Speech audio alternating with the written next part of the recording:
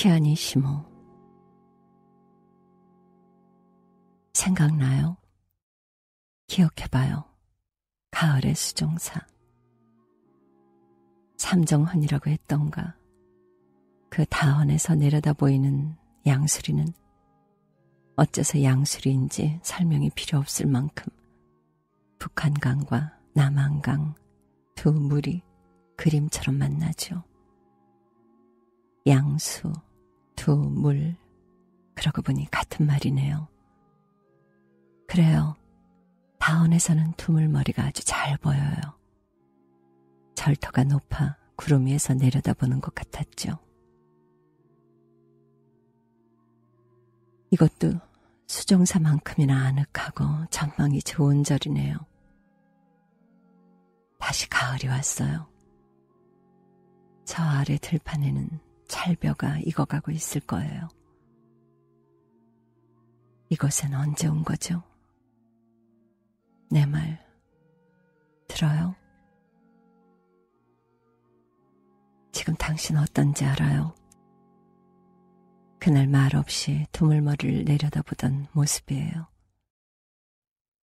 한참을 내려다보던 당신은 제가 차 드세요라고 말했을 때에야 뭐라고 중얼거렸죠. 다헌의 큰 유리창이 그대로 한 폭의 그림이라고 했던가. 그랬던 것 같아요. 저도 그런 생각을 하고 있었으니까요. 아마 그곳에 앉으면 누구나 그런 생각을 할 거예요. 차 마시는 법을 잘 알고 있던 당신이었지만 그것 다헌의 젊은 여자분이 차를 시작하고 마치는 순서를 워낙 친절하게 알려주는 바람에 당신은 그저 그분이 하라는 대로만 따라만 했죠.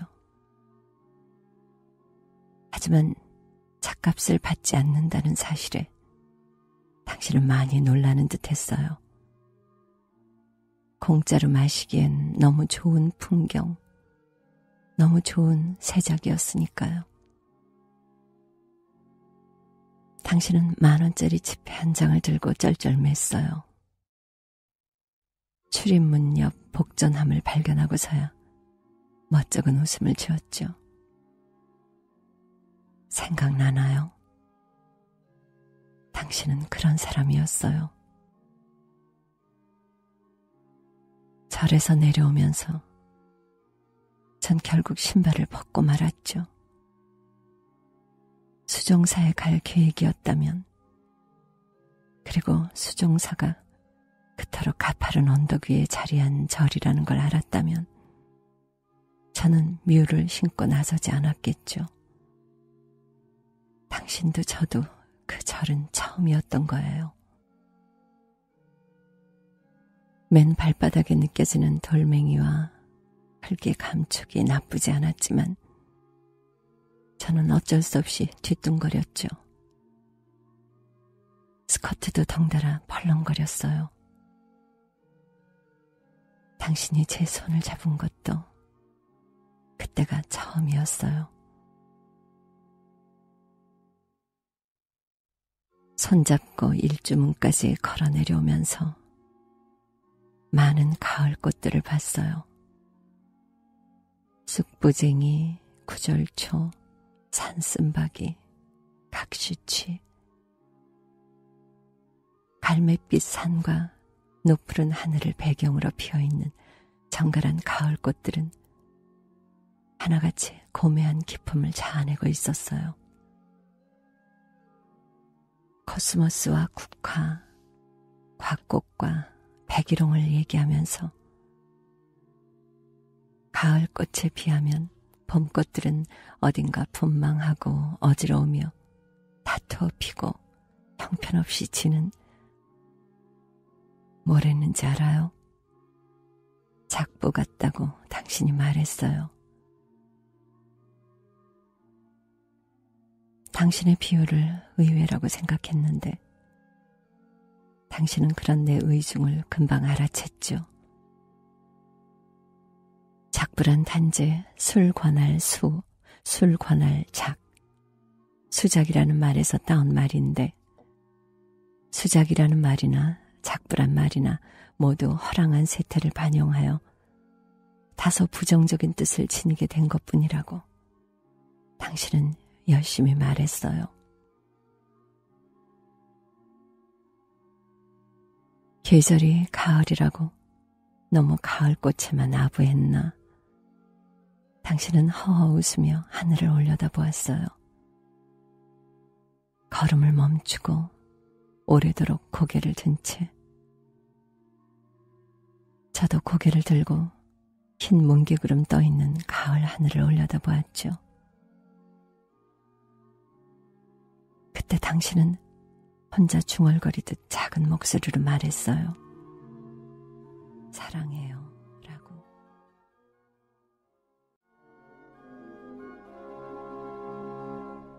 그런데 지금 당신은 도무지 아무 말이 없군요. 지금 무엇을 보고 있나요? 저 일주문 아래 기작은 해바라기들이 보이나요? 저를 알아보기는 알아보나요? 그런 일들 생각이 나기는 나는 건가요? 저는 다 기억해요. 당신이 제 집에 처음 오던 날의 모습도 제 집에 들어서자마자 당신은 저와 눈도 마주치지 않고 거실을 두리번거렸죠. 당신은 제가 아닌 피아노의 부름을 받고 달려온 사람 같았어요. 물론 당신이 제 집에 온 까닭은 피아노 때문이었죠. 당신은 피아노 조율사였으니까요. 하지만 조율사의 인상치고는 남다른 데가 있었어요. 조율사에게 특정한 인상이 있는 건 아니겠지만 미아 보호소의 어린 자식을 찾아온 아비처럼 서둘러 피아노로 달려가는 모습이 그랬어요. 다가가자마자 얼른 피아노를 냉장고에서 10cm 정도 떼어넣는 것도 그랬죠. 탐 리드와 상판을 열고 피아노 내부를 들여다보던 당신의 표정이 어땠는 줄 알아요? 아이를 방치해 키운 보모를 탓하는 듯 저를 바라보았어요. 아무려나 저는 그런 당신의 모습에 외려 알 수 없는 믿음이 생기더군요. 며칠 피아노 때문에 심란했었거든요. 조율을 한 지 얼마 안 되어 피아노가 싫어졌어요. 물속에서 꺼내놓은 원목 더미 같은 묵직한 이물감이 느껴졌어요. 갈수록 무겁기만 무거워지더니 결국엔 완전 바보 피아노가 돼버린 거였어요. 제 피아노가 싫으면 저한테 레슨 받는 학생들의 피아노도 덩달아 못마땅해지거든요.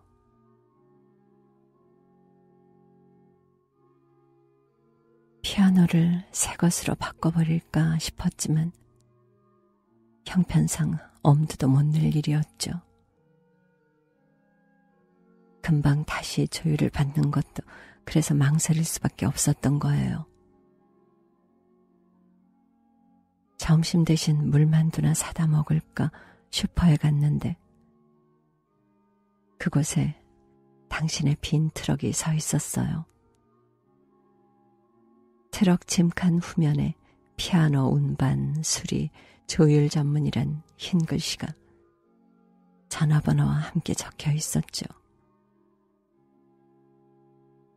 그날로 전화를 못하고 며칠이 더 지나 피아노가 아주 꼴보기 싫어졌을 때 항복하듯 당신의 번호를 눌렀어요. 어째 이 지경이 되도록 거의 경멸에 가까운 당신의 말투에 저는 주눅이 들었고 주눅 드는 내 자신이 부끄럽다기보단 후련했어요. 피아노를 제대로 간수할 줄도 모르면서 피아노를 치고 가르쳤던 가당차는 허세를 제대로 들킨 거니까요. 조율사의 선택과 관리도 분명 연주자의 능력에 해당하는 것일 텐데 말이죠. 당신은 화가 난 사람처럼 액션을 몽땅 뜯어갔어요. 언제면 되겠느냐는 제 모기 소리만한 질문에 가서 해봐야 알겠다던 당신의 무정한 대답이 시원하게까지 느껴졌죠.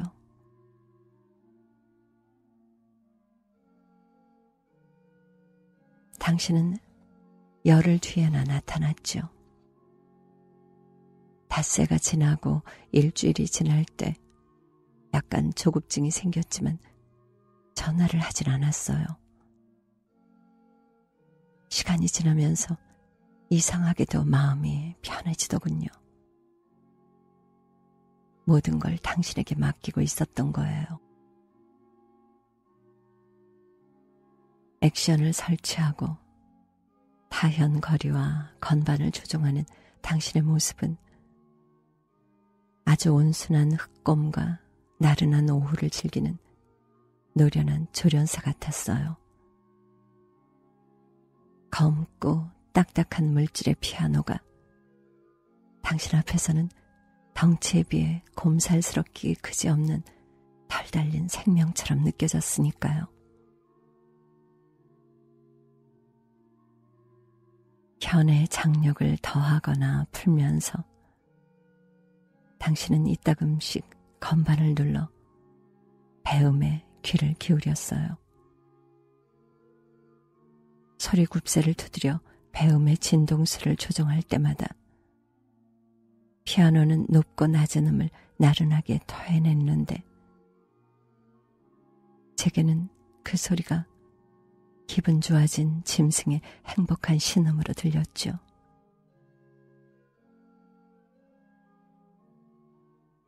그렇게 당신은 아무 말 없이 피아노에만 몰두를 했죠.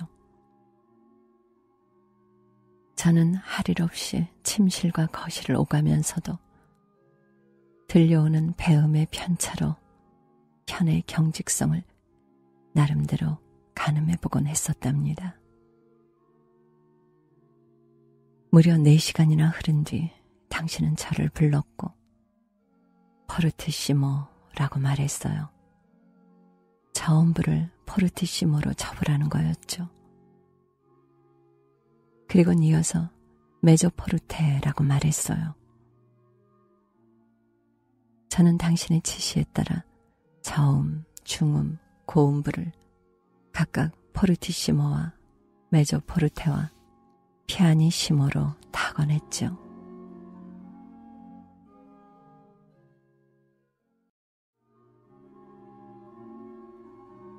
피아노는 내가 치는 게 아니니까요. 한 옥타브 작업이 끝날 때마다 당신이 말했어요. 조율을 함께 해본 것은 그때가 처음이었지만 당신의 방법이 옳다고 생각했어요. 괜찮아요? 하나의 건반을 누를 때마다 당신이 물었고, 저는 음색에 힘이 없는 것 같아요. 배움이 너무 날카로워요. 좋아요. 라는 식으로 대답했죠. 그럴 때마다 당신은 해머에 침질을 하거나 사포로 문지르거나 경화제를 발랐고, 저는 어느새 당신의 오랜 조수이거나 동료인 것 같았어요.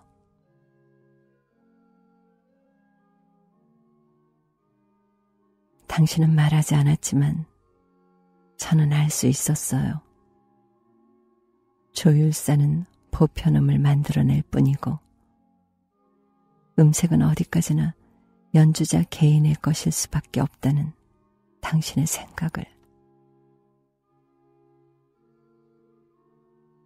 피아노를 만지고 있을 때가 가장 좋아요. 당신은 해머에서 눈을 떼지 않은 채 말했어요. 시간 가는 줄 몰라요. 낚시꾼들이 찌만 보며 하루 낮밤을 보내는 이유를 알겠어요. 피아노에 붙어 있으면 아무 생각도 안 나거든요. 당신은 얼마간 침묵한 뒤 말을 이었어요. 머릿속이 뭐랄까 깨끗해진다고도 할 수 없고 텅 빈다고도 할 수 없지만 어쨌든 가을 하늘 같아져요. 가을 하늘은 깨끗하다거나 텅 비어 있다는 것만으로는 설명이 불가능하잖아요. 가득 차 있는 것이기도 하잖아요. 설명할 수 없지만 제 눈과 처음으로 마주친 당신이 역시 처음으로 미소를 지으며 말했어요. 중독이랄 수밖에 없어요. 피아노 조율에 중독된 사람? 저는 그 말을 속으로 되뇌었고, 이상하다기보단 어딘가 우습다는 생각이 들어 저도 모르게 그만 웃어버렸어요. 물론 당신은 눈치채지 못했을 거예요.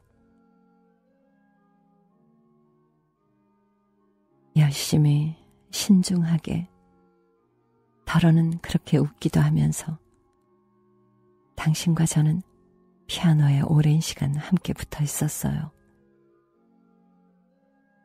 중독된 당신이야 당연한 거였겠지만 사실 저도 힘들거나 지루하지 않았어요. 가을 하늘을 본 게 언제더라. 그런 생각만 들었거든요. 작업을 다 마쳤을 때 저는 당신과 하루 종일 논에서 함께 김을 맨 노동의 동료 같았어요. 제가 건넨 오렌지 주스를 단번에 들이켠 당신은 서둘러 제 집을 떠났죠.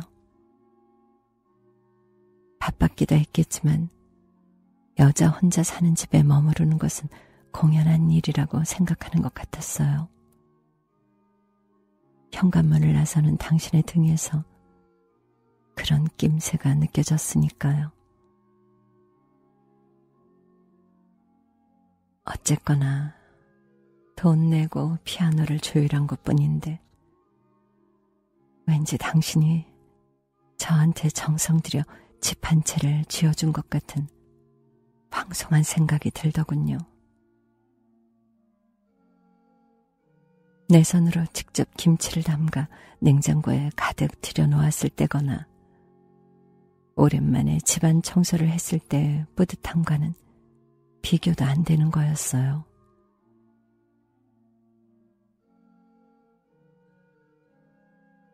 당신이 돌아간 뒤 저는 남아있던 제 잔의 주스를 천천히 마시고 피아노 앞에 앉았죠. 베토벤의 피아노 소나타 C샵 마이너를 쳐보려고 건반 위에 손을 얹었다가 움찔 놀랐어요. 처음 자동차의 핸들을 잡았을 때였죠. 엑셀러레이터에 발을 올려놓자마자 차가 저절로 쑥 나가버려 깜짝 놀랐던 적이 있었는데 바로 그런 느낌이었어요. 손을 올려놨을 뿐인데 피아노가 저절로 비명을 질렀던 거예요. 14번 소나타는 결코 그런 식으로 튀어나올 수 없는 곡이잖아요. 나도 모르게 비창의 도입부를 누른 건가 싶었지만 아니었어요. 타건 감각을 제 손에 맞춰 놓은 거였잖아요. 제 손이 굳어 있었거나 형편없는 피아노 상태 때문에 저도 모르는 사이 타건 감각을 잃었었던 건지도 모르죠. 손을 대지 않아도 현이 울릴 만큼 피아노는 예민해져 있었어요. 한동안 손끝으로 건반을 쓰다듬기만 하면서 중얼거렸죠. 자, 이제 너를 누를게. 놀라지 않았으면 좋겠어. 산에 무덤을 팔 때 사람들은 땅이 놀라지 않도록 미리 충문을 지어 고한다죠. 지신제를 지내듯 오랫동안 위무한 뒤 건반을 눌렀죠.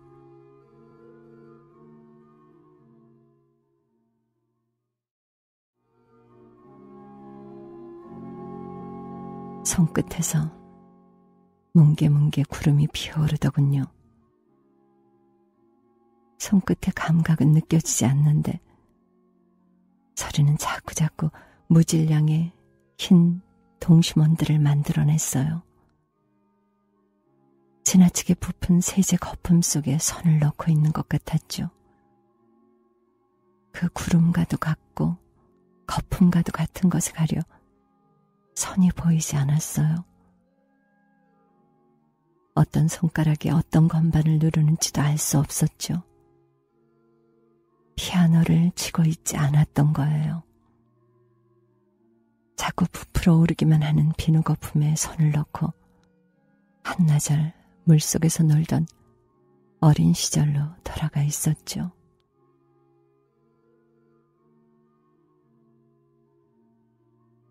구름은 손을 덮고 건반을 덮고 나중에는 피아노 전체를 에워쌌어요. 이 악장 알레그레토가 흐를 때는 피아노가 놓인 벽도 바닥도 피아노 곁에 냉장고도 스스로 제 모습을 감추었죠. 피아노 의자마저 없어져 버렸어요. 저는 비누 거품 가득한 유아용 욕조에 들어앉아 가만 가만 물장난을 하고 있었던 거예요. 주변 것들마저 투명해지고 사라져 마침내는 구름 위에 올라앉은 듯 했죠. 온 몸을 휘감는 소나타만 남았어요.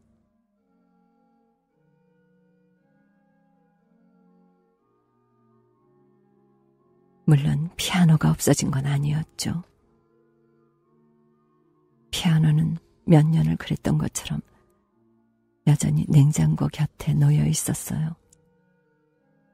한껏 얌전해진 모양으로. 아침 토스트를 먹을 때도 피아노는 그곳에 있었고, 식탁에 앉아 오후에 커피를 마실 때도 피아노는 그곳에 있었어요. 많은 밤이 지나고 새벽이 오는 동안 피아노는 정물을 자인하듯 다소곳하게 놓여 있었어요.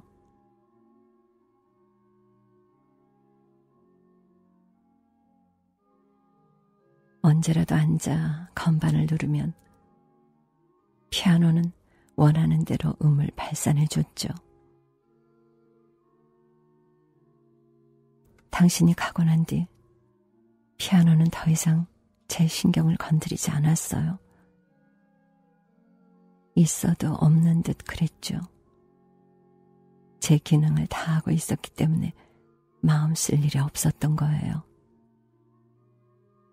피아노를 바라보는 제 눈이 편했고, 건반을 두드리는 제 손이 자유로웠고, 그래서 피아노란 것이 제 의식 안에 굳이 사물로 자리할 필요가 없었나 봐요. 보고 있을 때나 치고 있을 때나 그게 없는 것과 뭐가 다른 거겠어요.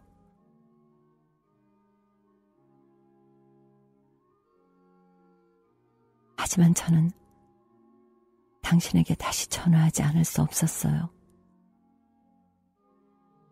아마 9개월인가 10개월이 흐른 뒤였을 거예요. 그때 제 첫마디가 뭐였는지 당신 생각나요? 내 말 듣나요? 날 좀 바라봐 줄래요? 피아노가 다시 꼴보기 싫어졌어요. 이게 그날 제가 했던 첫마디였어요. 당신이 뭐라 대답했는 줄 알아요? 시간이 흘렀으니 당연하죠. 라고 말했어요.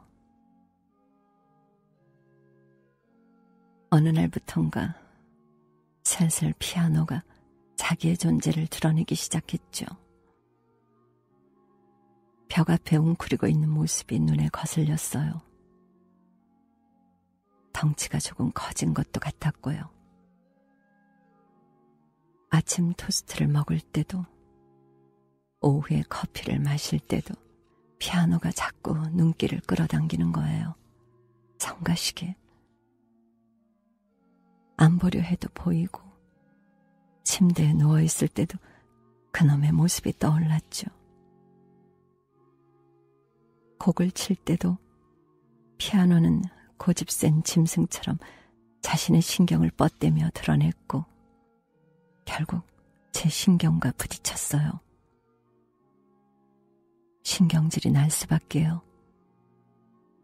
피아노를 외면하게 되더라고요. 당신이 다녀간 지론 피아노가 있어도 없는 것 같더니 시간이 흐르면서는 없는 걸로 취급하려 해도 고집스레 몸집을 드러내잖아요. 그놈과 실랑이를 벌이면서 제 신경은 점점 피곤해졌고 결국은 꼴보기 싫어졌던 거예요. 당신이 말했어요. 저와 같은 연주자라면 최소한 1년에 두 번은 조율을 해야 한다고. 제 연주가 어떻다는 건지 저는 알 수 없었죠. 저는 피아노를 전공하지 않았고, 학원 피아노 선생한테 겨우 3년을 배운 뒤, 혼자 제멋에 겨워 치며 몇몇 아이들 출장 레슨 해주는 사람에 불과했으니까요. 게다가 당신은 제가 치는 곡을 한 번도 들어보지 못했었잖아요.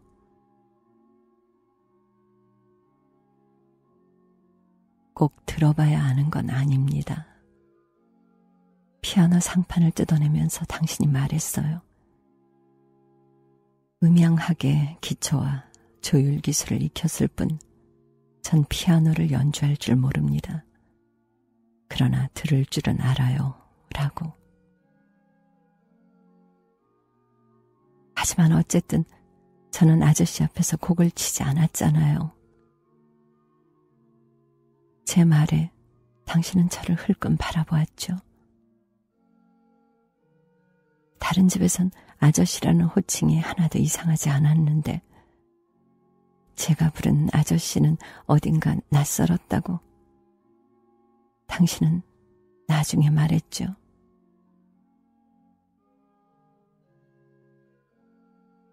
제 말에 대한 당신의 반응은 하여튼 알 수 있다는 거였어요. 당신의 그런 반응이 저한테는 적잖이 오만하고 무례하기까지 보였어요. 그걸 눈치챘던지 당신은 목소리를 누그러뜨리며 말했죠.